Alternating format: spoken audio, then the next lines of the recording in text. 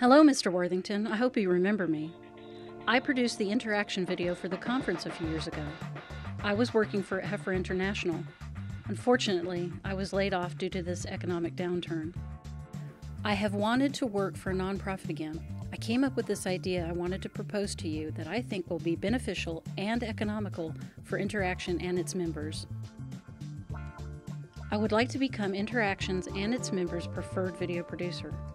In this proposition, I will give Interaction 15% of my fee if Interaction refers my services to other members.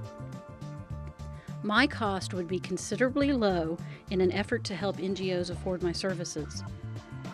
It is important that nonprofits make videos, since this medium will continue to be the most effective tool for awareness and fundraising. My years of production experience and understanding of interactions and its members' missions could make my services a beneficial instrument for nonprofits to succeed. I want you to know that this proposal was made completely in the spirit of what all nonprofits are trying to do, and that is to make a difference.